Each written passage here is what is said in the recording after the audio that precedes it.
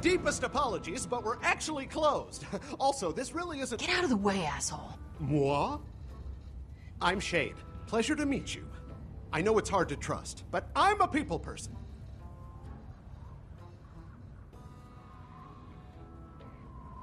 I always take care of my friends, even after they're gone. Just get out of there. I need to get through. I gotta go. We were having such a nice chat. You ever see